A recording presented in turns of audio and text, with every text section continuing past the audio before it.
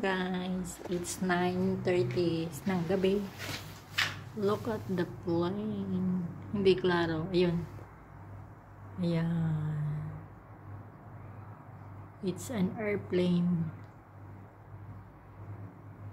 Airplane po. Ano siya? Taas.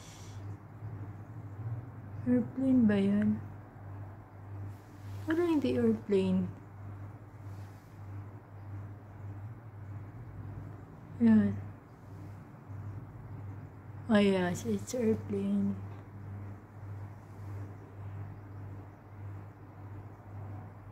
Ayan na siya. O, diba? So, by the way, maghahapunan tayo. Ayan na. Bye-bye. Ayan na. So, ayun, maghahapunan ako. Ayan. Tapos kung magluto kanina, dumi na pala ng ano, ng apakan. So, tapos ko nang ano kanina. Ang laman ng ref namin is wala. Ayan. Yung tira na Pepsi ko. Ayun. Wala. Walang itlog. Yung itlog sa ano niya yan, sa kapatid niya. Hangga na yan.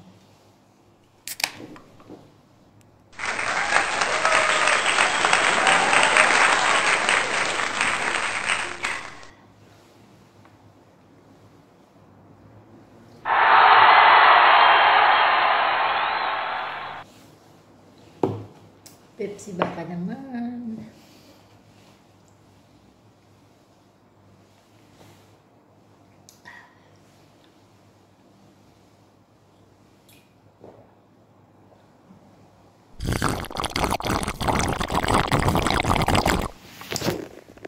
Tapos ako nagluto kanina.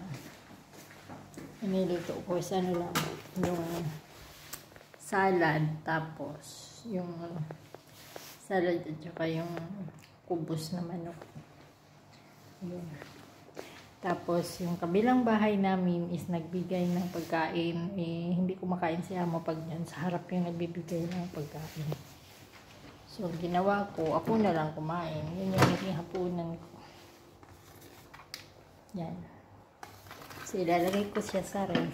Kasi, ah, bukas kakainin ko. Ito yung binigay doon sa binigay ng kapitbahay namin.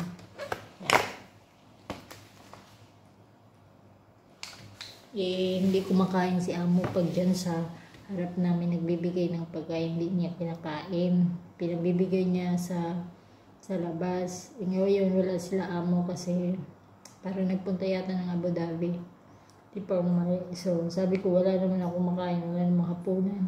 So, wala naman siguro itong lason. So, ako nakakain. Tapos, ilalagay ko sa ref kasi kakainin ko bukas yung tira. Kukuha lang tayo konti.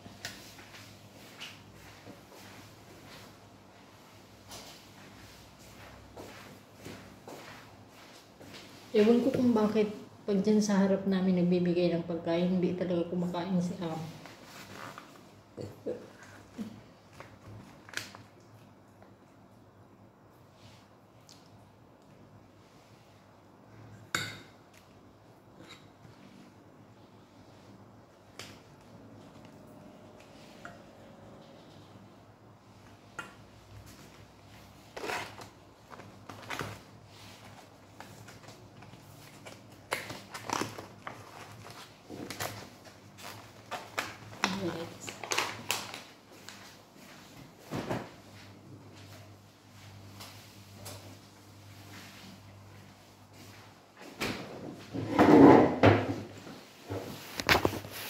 So, kain tayo guys.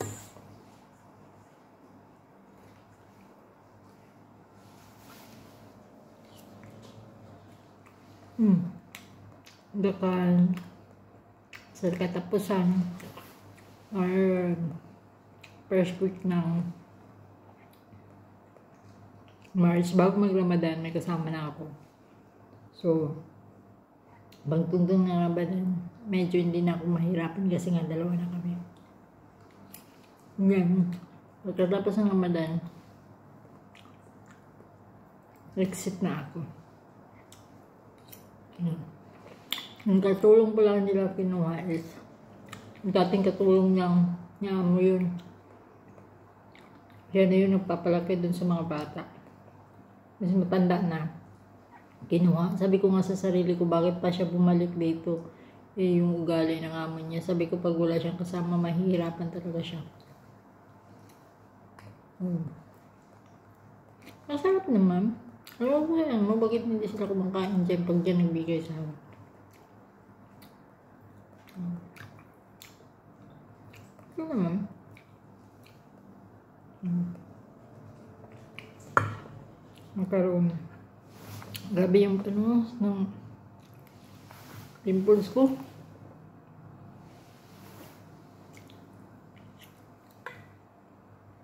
Ayun guys. Hanggang sa mga tayo. Bye.